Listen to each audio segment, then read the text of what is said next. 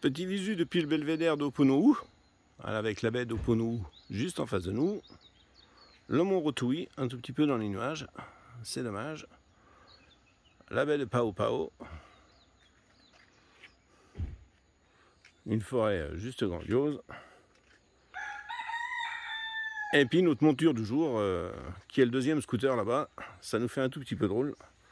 De remonter sur un petit scoot 4 temps, je vous explique pas, pour monter ça a été un tout petit peu pas très rapide.